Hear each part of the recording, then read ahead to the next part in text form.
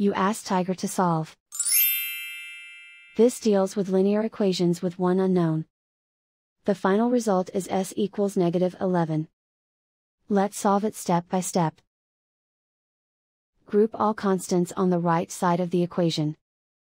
Add 19 to both sides. Simplify the arithmetic.